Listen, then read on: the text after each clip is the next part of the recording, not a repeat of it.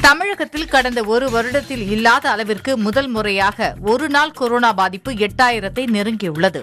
இதன் மூலம் நோய் பாதிப்பால் சிகிச்சை பெற்று வருவோரின் எண்ணிக்கை ஐம்பத்து நான்காயிரத்து முன்னூற்று பதினைந்து ஆக அதிகரித்துள்ளது.